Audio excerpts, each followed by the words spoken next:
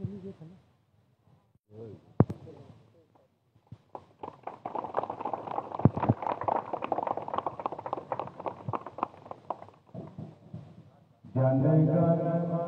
अधिनाय भाग्य विधाता पंजाब सिंह गुजरात मराठा विंध्य हिमाचल यमुना जल चरण सब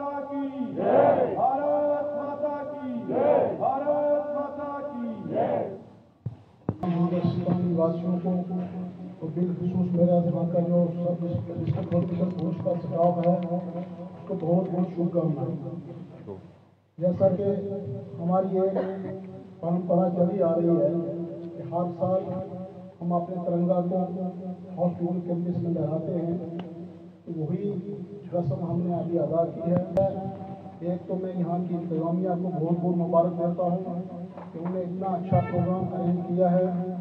साथ साथ मेरी तरफ़ से अपने स्टाफ को बिलखसूस कंसल्टेंट्स हजरात paramedics helping staff security staff sanitation workers सबको मेरी तरफ़ से बहुत बहुत मुबारक।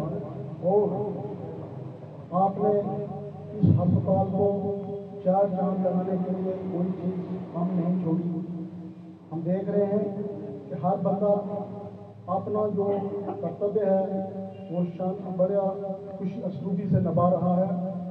और पब्लिक की मैनेजमेंट के लिए हर बंदा हर वक्त तैयार रहता है।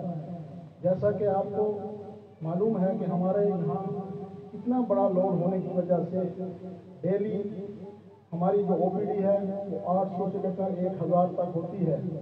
इतना फुटफॉल जो है उसको मैनेज करते हैं, हमारे लोग बड़े इफेक्टिवली उसके अलावा आईपीडी की तरफ़ अगर मैं जाऊँ तो हमारी मंथली आईपीडी जो है, वो two thousand two two thousand five hundred तक होती है। हम अगर अपना गायनी डिपार्टमेंट की तरफ़ जाए तो हमारे यहाँ मंथली जो है six hundred fifty to seventy seven hundred delivery conduct की जा रही है। और हर स्टाफ मेंबर अपनी अपनी जगह पर बहुत बड़ी जिम्मेवारी के साथ लोगों को सर्विस दे रहा है। कोई भी डिपार्टमेंट एमरजेंसी की तरफ़ हम जाएँ अगर एमरजेंसी में हमारे पास डेढ़ सौ से लेकर एक सौ अस्सी तक डेली फुटफॉल लोगों का है। इतना बड़ा चीज़ें होने के बावजूद और साथ में हमारा स्टाफ जो है वो सिक्सटी टू सेवेंटी परसेंट ही है।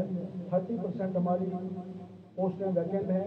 लेकिन फिर भी मेरे स्टाफ ने जब जब भी कॉल दी तो बड़े अच्छे तरीके से काम किया।